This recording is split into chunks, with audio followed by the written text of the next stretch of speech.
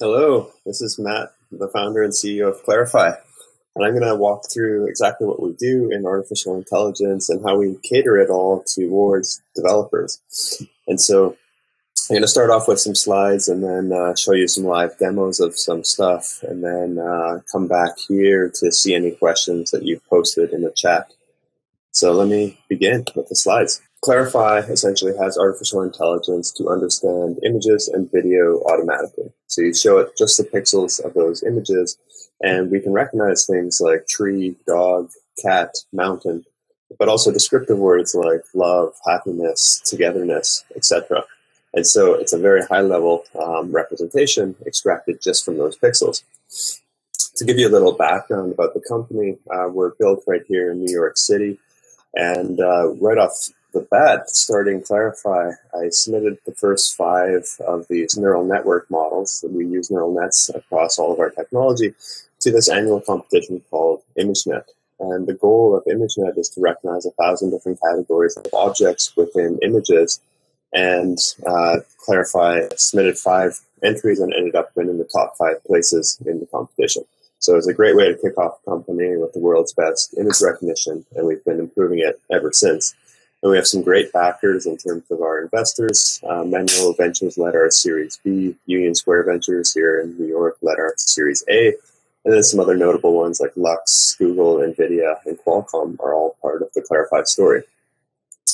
And if you think back um, towards building something incredible for consumers, which is the goal of most developers, you can think back in the 80s when computers entered the home. This gave the opportunity to get technology into people's hands um, rather than going elsewhere. And that made them more informed. And then the internet connected them um, together across the globe, and that gave them a lot more information than they previously had available.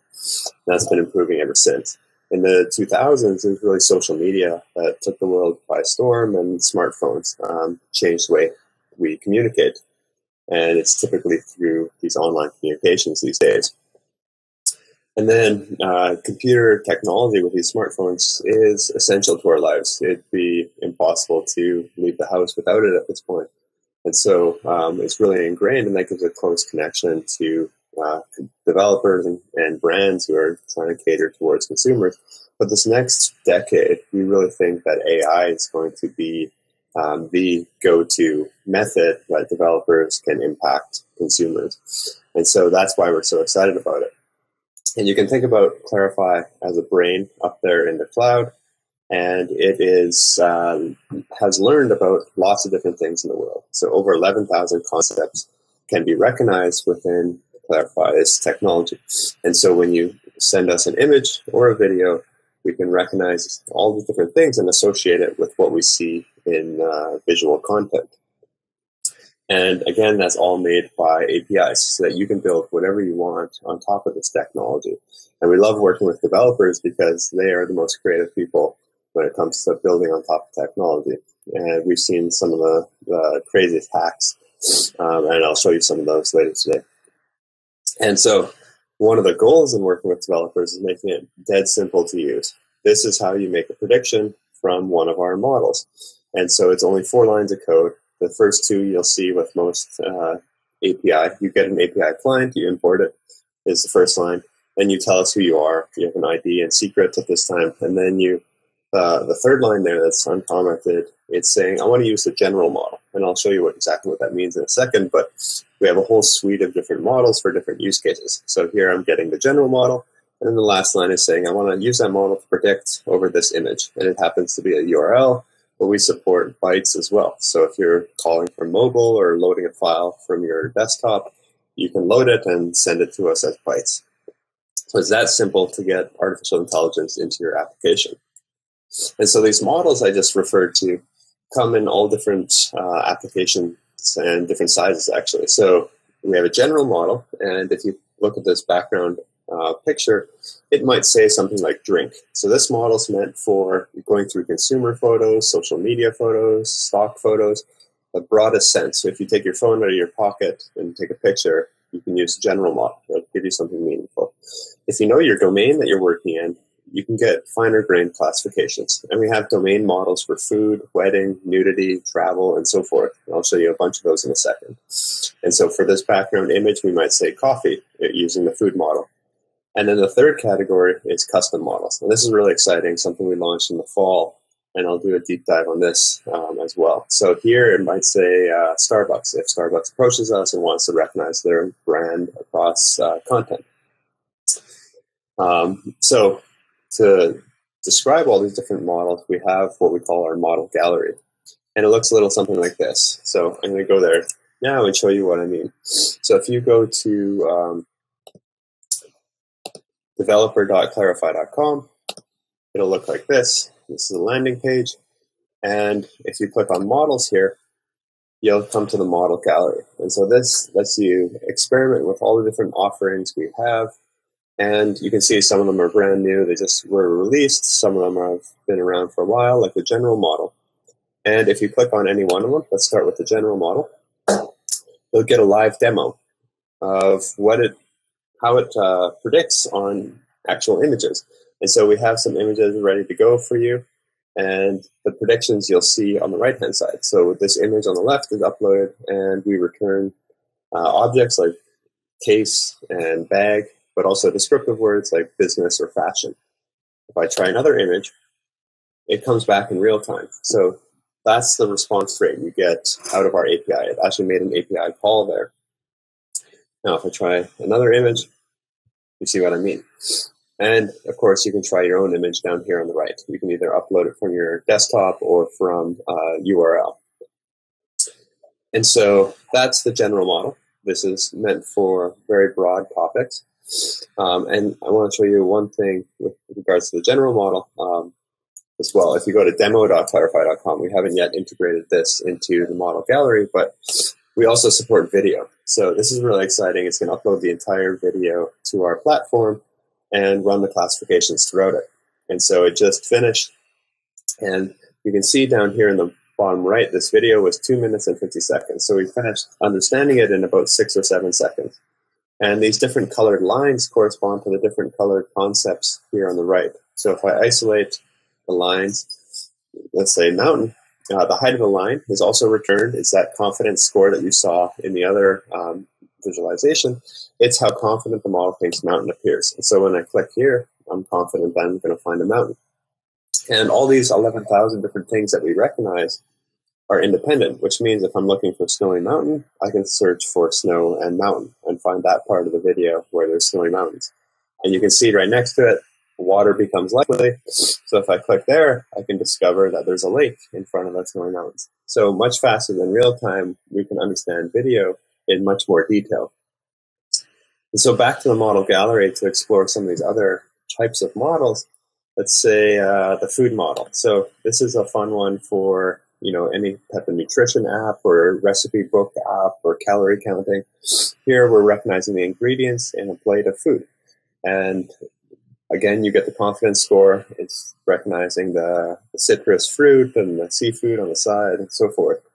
I try out these burgers. It'll recognize that there's bacon inside them and cheese and so forth. So very detailed. This has much less categories than the uh, general model. It has about a thousand as opposed to the 11,000, but it's all focused on food. So if you know you're building something related to food, you can leverage that. And we have a couple models like the demographics model or the celebrity model, uh, which are geared towards face recognition. So here, it's doing something a little different. It's finding the face first and then classifying who that person is. And so, or attributes of that person. Um, and so here it's recognizing that this is Morgan Freeman with 91 or 99% confidence. Um, here, you, will see it recognizing multiple faces, and each of them is classified with a different person.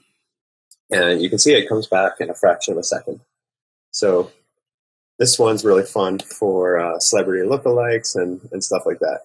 We just launched uh, a few days ago our demographics model, which actually gives the age, gender, and multicultural appearance of a person. And so this can be used to understand who your users are and build some really interesting apps. And uh, again, all these different scores um, are bucketed now into three different sections the gender, the age, and the multicultural appearances. And then another exciting one um, that we just launched a couple days ago as well. It's the logo model. So just like that Starbucks um, example I showed you, this one is recognizing logos within images. And so it's going to localize them. It's going to find where they are and then classify what they are. And so here it's finding two different Arby's logos within the same picture. And so this is really exciting for brands and understanding where your products are being used. And combining these different models opens up a lot of new application areas. So this gives you a sense of the different models that we offer within our model gallery. And so one thing we realized after the last three years, we had uh, created the general model back then, about three years ago when Clarifai was started, and then we started building those domain models. And for some large enterprises, we build models specifically for them. But in all the cases, the, the typical next step that people do is index these predicted concepts for search. And so last fall, we launched uh, a big new product called uh, Search, and it lets you index all this stuff for um, with simplicity. And you don't have to maintain a search index. You don't have to think about how you rank search results and all that. And so I'll show you what that looks like. And again, everything is powered by APIs. And so you can build this into your application. And I'll show you exactly what the code looks like uh, after I show you what the product looks like. And we include this user interface, which lets you manage your data. And that's really important because if you have really large data sets that you're going to be searching over, it's nice to have at a glance what that looks like and how it's organized. And so this is an example of uh, maybe a stock photography company who uploads their content. And then you can search for things like dog. And it'll find pictures of dogs automatically. And I didn't have to manually tag this content. I didn't have to think about how to rank it. We're using those confidence scores in order to rank the, the results for dog. Now, if I search for dog and grass, it's going to find a combination of the different concepts that we recognize. And again, you can see it coming back in real time. Now, we went one step further than just concept based search. If I go into an image you'll see this section called similar images. And this is finding visually similar content. And this is very simple to use. You just give it an image as a query instead of the concepts, and you get results back. You can even use a crop uh, tool right here in the UI to find uh, stuff that's similar to that crop of the image. And this opens up a really powerful discovery experience for your users. You can let them even take an image off the internet. Again, the image can be bytes like that crop or URLs like this one. And we upload that as a query and we find similar looking stuff. And I can combine those with concepts as well. So things that look like that picture but also have grass in them. And so that's what we call visual search, finding visual similarity between images. Now, if I go to a different use case, so we like to build a platform that has features that are useful across all different industries. And so here's uh, gardening as an example. And if I hit the little eyeball on an image, it actually uploads it to the search bar, and it's going to show the the blue pictures. Um, and then if I upload a second image, and it can be by URL or by bytes as well, it will find uh, things that look similar to both types of images. And so it has some uh, of the blue flowers in front and the other type of flower behind, and different viewpoints, different colors, um, different zoom levels, all that kind of stuff is taken care of um, for you because we match at a very high level of understanding within the images. And so this is a new discovery tool in the gardening industry. Or if you think of the obvious use case, um, and this is very similar to what Pinterest has done on their own um, website, we can now enable people to shop and discover content online. So if you index your products with Clarifai, your users can find pictures like this and maybe crop out the lamp because they want to buy something similar to the lamp, and you find results immediately. And I didn't have to say a word, it finds stuff using visual similarity. Now, if I crop out a different part of the image, it finds stuff that looks different. I move that around. It keeps finding different types of results. So this makes it a, a, fun application for developers to build on top of and integrate into their sites. And so that's an example of visual search. And that sounds pretty complicated to integrate, but we put a lot of effort in making our APIs simple to use. And here is the exact uh, lines of code from our Python client that lets you index things for search and perform a search. And so it's only four lines of code, just the, the same amount as making a prediction with our API. And so the first two liners are actually the same. So you import our API client, you tell us who you are with your ID and secret, and then you create an image from the URL. So this is adding that image to your collection that you want to search over. And then the last line says, I want to search by an image. So this is showing the visual search where the query is actually an image and it'll find similar looking stuff. And there's a similar call for search by tags and then a different call to combine all those different types of searches together. So very simple to use, only four lines of code in order to get search into your products. And again, you can try all this stuff out for free. We have a free trial. You don't even need your credit card. You can sign up at developer.clarifai.com. Now, when you think of a picture like this, um, something different will pop into almost everybody's mind. Some people might think, oh, it's black and white, it's kissing, it's World War II, it's uh, New York, it's Times Square.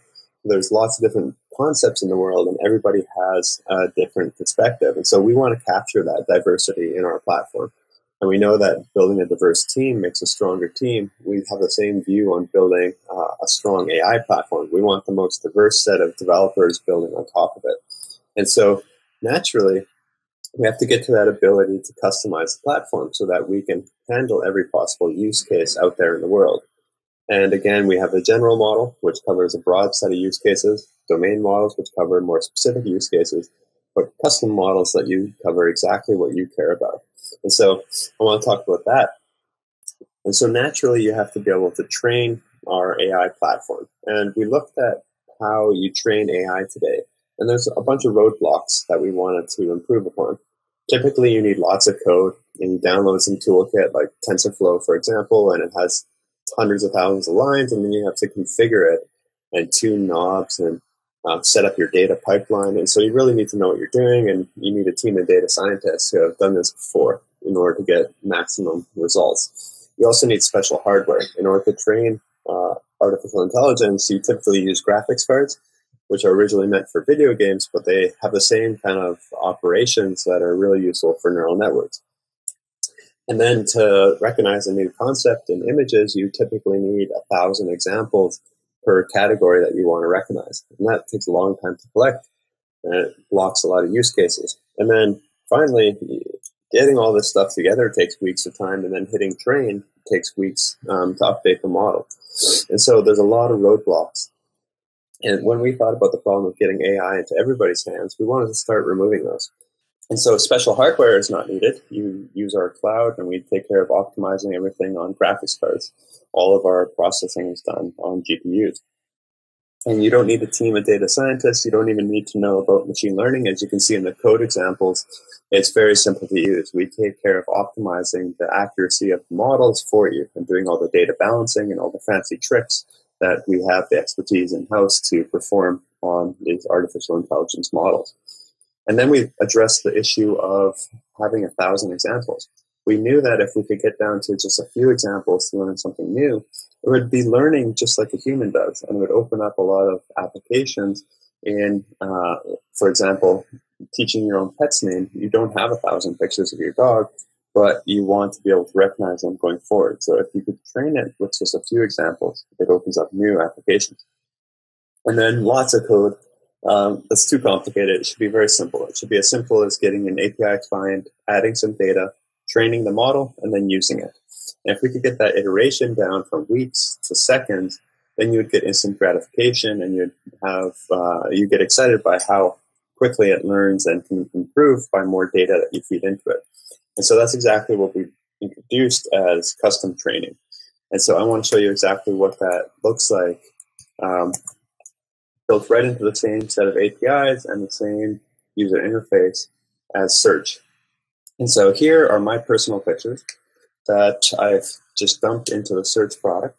And of course, I can search over them. So here is a New York Public Library. They have images like this, and they've categorized them into different uh, concepts by their professionals at the New York Public Library.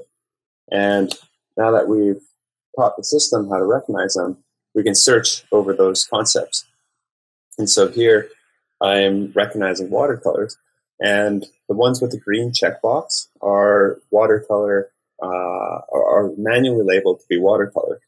And then the ones, as I scroll down, that are missing the checkboxes are uh, ones that our platform has recognized to be watercolors, but the humans have missed. And so if I go into this image, you'll see this new section up at the top. And this is where we're predicting all the different concepts that the model can recognize. And here it's 67% confident that it's a watercolor. And it's very simple to just teach it new things. So I can just say that's a watercolor and hit train and it'll update the model. I won't do that for now, but that creates a new uh, version of the model. So you can always go back and uh, run a previous version when, when you're happy with the performance of it so that you can uh, basically checkpoint the model at any given time. And so if we look at another concept like maps, and so one of the exciting things is that once you teach it new things by labeling data and training the model, you can immediately search over the content. And so it'll recognize, um, again, things that humans have missed. Let me try if uh, different type of concept here. Let's see if this works. So here, if I search for document in my personal pictures, um, I go to a lot of research conferences, and so uh, I have a lot of research posters. And so let me teach it what a research poster is. So I just select a few examples. And to teach the AI, I just say whatever it is, research poster in this case, and I hit done. And so it says these 10 images have been updated. And so all I have to do to train the model is say, I want to train the model and it should be training in the background and then it's done. So that orange dot disappeared. And now if I go into this image, you'll see research poster here with a green check indicating the manual work I've done. And here it's 98% confident that this is a research poster. I go to the next image, it's 95% confident, 96, and so forth. And so this picture, um, which is not a research poster, I can say it's not that thing. And so we take both positive and negative examples. And if I retrain the model, it'll take a few seconds, and now it's 76% less likely that this is a research poster. Now it's only 13% likely. And this is very powerful because now I can iterate on this process of teaching it new examples, doing searches to find additional examples, and continuing to improve the model. And so now it's very accurate at recognizing research posters. The whole first page is uh, actually true. And you can see I've only labeled maybe a third of that whole page. So a little bit of work can be applied to massive amounts of data. And so let me just show you exactly what that looks like when you're teaching the system through the API. And so it's six lines of code in order to train AI today. The first two are identical. You import our API client, you would tell us who you are, and then when you create images, it's the same as search, but you also tell us what concepts are present. So here we're uploading an image from a URL and there's a cute dog, but there's not a cute cat. And the second image has a cute cat, but not a cute dog. And then when you go to create a model, you have to, you can create as many models as you want. You give it a name, and you tell us what concepts. It's just a list of concepts you want present in that model. That creates the model, just like you could get one of the pre-trained models, you can create a new model and then you train it. And that's the process that takes a few seconds, and then you can use the model just like you would any other model. So it's very simple to use any of our different types of models, including custom ones that you can teach it on your own. So that's what we call custom training. And I'll show you some interesting applications of that. Again, join us at developer.clarifai.com to get started. And then the other really cool piece of technology um, that we launched is the ability to recognize in different languages. And so if I go to demo.clarifai.com, here I'm going to go to configure at the top right, and you'll see this drop down list where there's multiple different languages. So here I can choose Korean, for example, and get predictions back in Korean. Or I can choose simplified Chinese. We have both simplified and traditional. And I get results back in Chinese. And so this is really uh, interesting research problem where we set out to solve this multi-language differences. And here's an example of where this um, is a challenge. On the left, you see a word crane in English, which could mean a machine that lifts things, or it could mean a species of bird. And so we had to separate out all those different meanings and build our own knowledge graph, essentially, where we know the connections between different things, and each node of that knowledge graph has a very clear definition. And once we had that clear definition, we could translate it into the other different languages. And one of the side effects on the image in the right, you might get uh, return values that say fall multiple times. And that's because one of them has the meaning of the time of year, and the other is the leaves are falling down to the ground. And so you, you have these kind of unique side effects that are uh, pretty exciting in our platform. And you get a concept ID, which lets you uh, map your, the concepts that Clarifai predicts into whatever vocabulary you care about um, in your product. And so developer.clarifai.com, um, very simple to use. We have quick start guides for everything you've seen here, um, more in-depth guide to getting into the, the, advanced usages, and then API references for the different languages that we support. Um, and those are JavaScript, Python, Java for Android, and iOS um, with Objective-C. So um, you can get up and running very quickly with our API clients, and then we have a whole suite of community provided clients um, as well. And so let's see what people are building. Um, so we have large enterprises like Style Me Pretty using our wedding model to organize the users' uploaded wedding albums so that people can come to Style Me Pretty and do searches and find inspirations for their weddings. And so this was uh, using our domain model that has about 450 categories. And that helped them get more than an order of magnitude more content onto their site. And uh, that ultimately leads to more ad dollars. Um, Trivago is a customer. They have 10 million plus hotel listings across the globe. They're using our travel model, which recognizes things like ocean view and pool and so forth and, uh, from the, the user uploaded photos so that maybe the next time you're planning your vacation, you can compare those photos directly. We even work with medical companies like Ironside, who has this new device that looks inside your ear. And doctors have been labeling on their cell phones with the device the 10 different diseases that they're looking for. That created a training set that um, then a custom model in Clarifai could be formed from. And they're claiming over 99% accuracy in the real world using our technology. Uh, marketplaces use us for both organization of content, but also moderation. So they have a lot of offensive things like drugs and weapons and pornography that we can help filter out. And we have a nudity model to do that, and we're working on generalizing that um, very soon. And then large brands can leverage custom training to uh, describe how their marketing team conveys their brand and what they look for on social media. So maybe they can find examples that uh, real world customers are creating that convey their brand and they can include that in their next marketing campaign. With the logos, it's very powerful because now all these and the celebrity model combining these different things makes it really exciting for sporting events. As one example, you can find you know the Nike swoosh on multiple places here and the celebrity uh, athlete. You can also enable things like smart advertising. So this is something uh, McCann did, where they took pictures uh, on the web, like this one, and they can recognize that it's the winter time, it's a home, and so the advertisement on the right hand side is for a heater to uh, to put into your home, so that it. Uh, uh, so this is kind of a contextual advertising.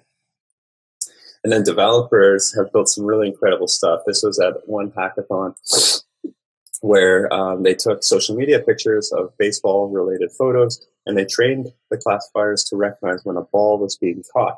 And then they could um, look at the GPS coordinates of all the pictures where balls were being caught and they overlaid it onto the stadium map to show you where the best place to sit is if you want to catch a baseball. So, really clever stuff out of the development community. Another team at a hackathon backdoored the Tinder app and had one of their developers swipe left and right according to their preferences. That created training data to learn how they uh, prefer things, and then they could automate Tinder. And they found about three matches in the hackathon. So again, custom training coming in, and then baby monitor. I can show you this one um, live. So this is a Raspberry Pi camera that one of our engineers set up to look at his newborn baby's crib, and can, and has trained it to recognize things like the baby is standing so this should find uh, the uh, baby different times of day, different poses, different colors. Uh, baby is sleeping, different orientations. Um, the baby is sitting, playing with different toys, and the baby is missing. So now he has the most intelligent baby monitor, and it's costs about forty dollars with a Raspberry Pi. And so um, you can join us at developer.clarifai.com to sign up now and join the suite of uh, companies like this who are using us every day to build intelligent artificial intelligence into their products. Um, so let me just jump back to the presentation um, tool and answer any questions you have. So concept, uh, how is a concept defined is one of my first questions. So a concept is basically an uh, entity in the world that has a clear definition, and that's um, was a really important definition for it because as we moved to multi-language, we had to have that clear, unique definition in the world so that we could actually have a name for it in the different languages. And so when you're building a custom model, you actually specify the ID of the concept because everything has to be a unique ID and then you can call it whatever you want. And then whenever you provide training data for it, that's kind of uh, giving it its own definition. If that makes sense. Um, you get to define what your concept means.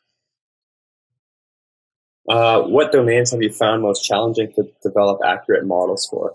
So I'd say the uh, the nudity one is a challenge because it has a different definition depending on the different businesses, and so basically the, the easy cases are you know pornography which is very explicitly nudity and then the very safe images that don't have any kind of skin showing at all uh, are the easy kind of spectrums. But the intermediate like bikini and lingerie photos depending on the business they might want that in an adult section or they want it filtered out completely.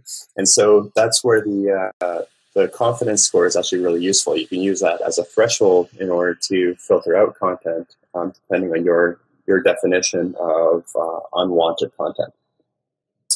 What tips do you have for new developers entering, entering the AI world? Um, so I think starting to play with the technology and building applications around it is the first step. And I urge you to use the simplest possible tool and do a lot of iterations on on interfaces. I think one thing that uh, that people get distracted by is how how fun the, the actual technology is, but I think there there's a lot of opportunity left to build the actual correct user interfaces that get people to be able to train things easily and be able to provide more data. Because the more data you feed into a system, the smarter it gets. And so I think uh, rather than going kind of uh, build everything, build on top of uh, open source toolkit route, using a, a, service like Clarifai can get you up and running quickly, quickly to uh, to focus on the important things about building a product around it. Um, have you tried any, tried, for example, loading images that do not include food into the food model? Uh, so this so the, these domain models are only trained on things from that domain, and so if you feed in images for example, to the food model that don't contain food, they're just going to spit out a bunch of food terms. And we, we return the top 20 concepts that we recognize, and they might be low confidence, but you're still going to get 20 things. And so it actually makes it kind of fun because you can feed in things to the wedding model or feed it into the food model and see how it's thinking in some sense. Um, but I don't recommend using those tags for anything because they won't be very meaningful. Um, Yes, exactly. Um, somebody commented that the, the probabilities will be low, um, but it will still predict things. Ah, great question. So, what are the backend technologies powering Clarifai? So, over the last year, since the start of last year in 2016, we moved all of our infrastructure over from uh, Ansible as our deployment and pulling up individual uh, AWS instances. So all of our production APIs are on AWS. Um, but instead of kind of managing machines, we now leverage Kubernetes. So we've Dockerized all of our services and uh, we have them as microservices. So we have things like our neural net models, we have a color model, we have our visual search backend, and so those are all different services. And then our web server, we used to use Django, uh, which is a Python web server, and we have rewritten that in Go. And we're very excited about Go. It's very simple to learn. Um, literally, our developers were learning it in a day and, and merging in code uh, without even you know reading tutorials or anything like that. So it's very easy to pick up, and it's very very efficient for uh, a web server. And so when your request comes in, it goes through Go, and then it goes to a different backend. And Kubernetes takes care of all those kind of deployment issues and knowing where the services are. Um, any comment on how the search engine would perform on a collection of dermatology images? So this is where uh, the different uh, custom concepts would be very powerful. I think if you started teaching it how to categorize dermatology images, then you could search over the different categories and it would become more accurate the more data you feed in. And so I, I would recommend that as the next step. And with the UI, it's very simple to just drag in images and start labeling things. Um, so it'll get you up and running very quickly. Um, after I train my model and Clarifai, how can I download it and run it on my own machine? Um, so to date, you cannot download it. Everything's in the cloud so that you can use our APIs. Um, we're considering doing this in the future, but uh, please reach out. Actually, I'm kind of curious what your application is, and and does it demand offline use cases, or or for some reason running on the machine? We're under the mindset that um, we'd love to have everybody on our platform because then we can push out the latest features and maintain it for them, so they don't have to think about being up at 3 a.m. in the morning when something goes wrong. Um, so that's why we love having the cloud API uh, as opposed to running on devices. Yes. So the question is, can you make more complex queries? So yes, you can combine multiple terms like dog and not cat. Um, so it's it's all ended together. So you can upload a visual search and a concept and multiple concepts, and any of those concepts can be knotted. Um, so they can be uh, negated or however you want to phrase it, um, the opposite. Um, so yes, you can make complex queries. And even uh, something I didn't show you uh, it's in our API. You can also add geolocation and metadata. So metadata is kind of arbitrary JSON blobs that you can then search over. And geo lets you add coordinates. And so you can do searches like find things within a radius, or find me the nearest stuff, or find stuff within a box of points. So very powerful geo search is built in. Uh, when you create a custom model, are those labels private? And uh, or can we turn publish? Can we publish our models? Um, so everything right now is private. So that lets you upload your data and configure things on your own. Um, and there's no way to, to share it uh, at this time.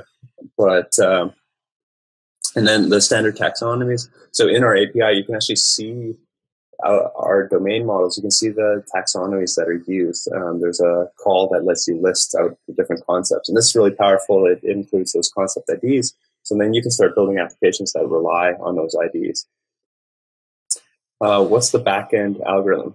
Um, so it's all using neural networks. We've come up with our own architecture, and it's actually running on our own neural net toolkit. Uh, but we're looking at moving that over to TensorFlow um, right now, actually. Um, it's been taking longer than expected because of some benchmarking. It's not working out as good as our internal toolkit. So, um, but the algorithms are all neural network based and architectures that we've fine tuned over the years for real world problems. Uh, how big was the data set for the healthcare app? So it was 75,000 images categorized into 10 different uh, diagnoses. And so not that big, and it was reporting, uh, they were reporting in real patients over 99% accuracy. Um, thank you um, for the shout out on lots of different examples. Um, that's, that's our, that's what excites us too, is getting the platform to have features that developers can show us uh, what's possible out there. Are there open data sets for logo detection training? Um, so we had to collect our own data for logo training. Um, we are not aware of ones that are available, but we have that logo model that's already trained. And if it doesn't have some of the logos that you care about, we just reach out to us and we can add them. Uh, what are your methods for localizing the objects within the images? So we showed you faces and we showed you logos where we're localizing. And so we've actually come up with our own detector algorithm. Um, so David Eigen, um, who was a, a, fellow researcher at NYU with me when I was doing my PhD, we both did our PhDs under Rob Fergus. He's part of the research team and has come up with something that's very efficient at localizing, and it can do it uh, essentially in one shot um, so not it's much different than some of the other research done where you propose different regions and then compare them. Um, so we're really excited about that and hoping to generalize that in the future. Um, how do you deal with thousands of classes and with high coverage? So this is something we focus on from day one is collecting really large data sets and algorithm and tuning the algorithm so that they can uh, deal with noisy data. So our data usually comes from uh, web crawls or from customers, and in both cases, it's very noisy, which is much different than things like ImageNet, um, where the concepts there are are relatively small. There's only a thousand, and they're all balanced, so they all have 1,300 categories, and they're all human labeled with multiple humans in the loop, and so they're very clean data. And so from day one, we had to figure out how to deal with this problem. And it involves a lot of uh, tweaks to the actual neural net layers near the end, and it also involves kind of some tricks in, in sampling the data, uh, but I can't go into any more detail than that. Um, are there examples on the website to learn more? There's yes, there's uh, there's a great blog that our marketing team runs where it shows use cases of all the different uh, customers using, or or not all the different customers, but some of the different customers and how they're leveraging the technology, and and uh, and then developer.clarifai.com has all the documentations and the sample clips um, to get you up and running quickly. How will you be able to differentiate your API as Google Vision API gets better? So Google just entered um, our industry very recently, having their own API.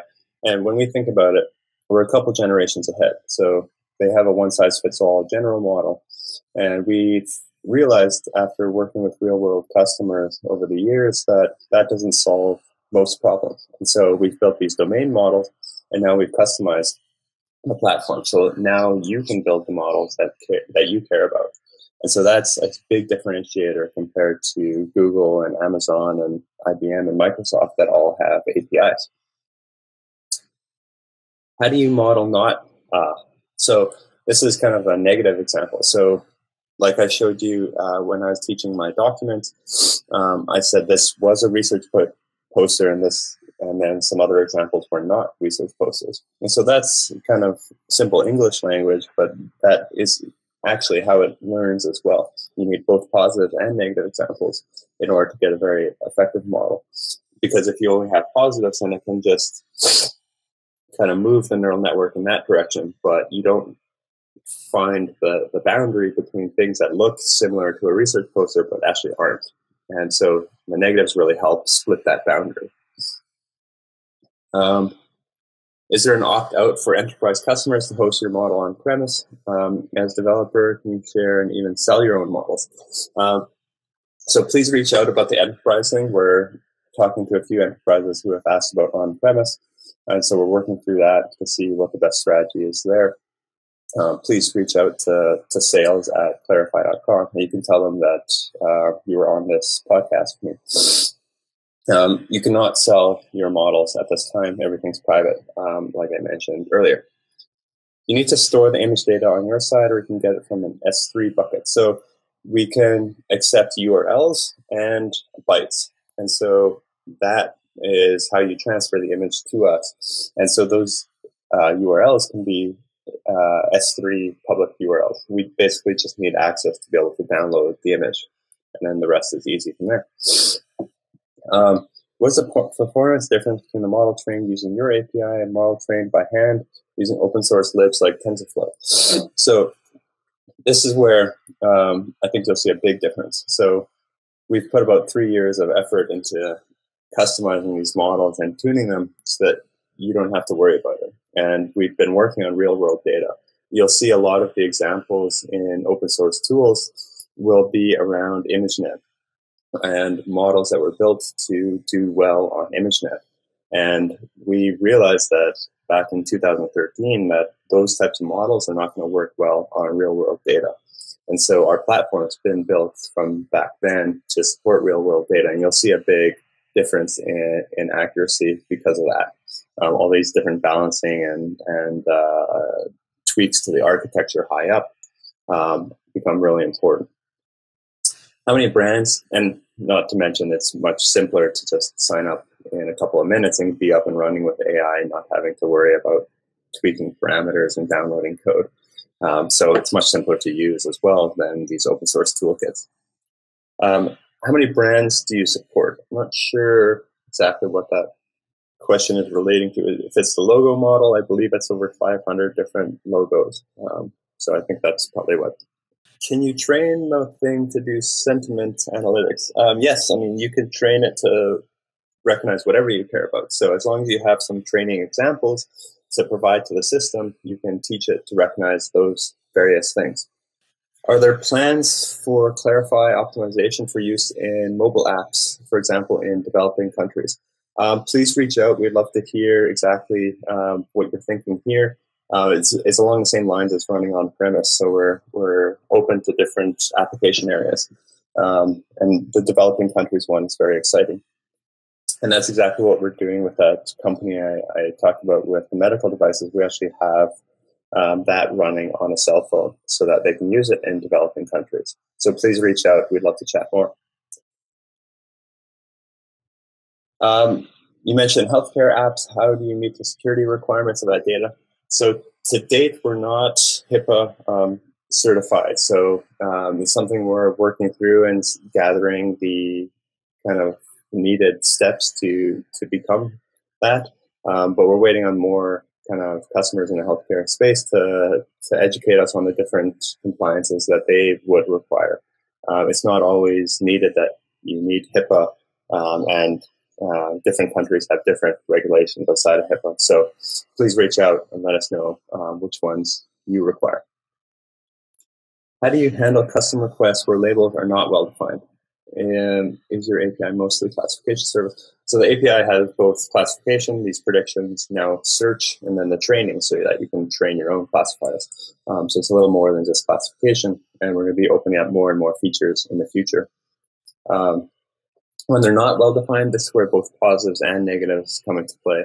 And so, for example, we have large brands who have taught us uh, taught the model to recognize natural beauty. So it's something that's not well defined, but they have a, a, notion of what that means to them and their brand. And so they have taught it to recognize exactly that um, just by giving it more and more examples of, yes, that's natural beauty. No, that's not. Um, it's kind of, you know it when you see it uh, in that example. And so it works. Um, and the more data you feed it, the better. Can you share the lib name for your original toolkit? Um, so go to developer.clarifai.com and we have links to all of our different uh, API clients uh, for Python, or just go to um, Clarifai's GitHub page. All of them are listed there. Um, what new models are you currently working on? In other words, uh, what models are in the pipeline? Um, so I mentioned briefly the moderation model beyond just nudity. So that's something we're working on um, coming out next. And we're actually uh, going to be pumping out a lot of different models very soon. I can't say exactly what they are just yet, but um, but stay tuned and check out the model gallery uh, often and our newsletter. If you sign up, you'll get uh, more and more alerts of new stuff that's coming down the pipe. So that looks like um, the rest of the questions. Thank you very much for joining this uh, this video share. Um, it was an honor to be able to present what we're working on. Thank you and take care.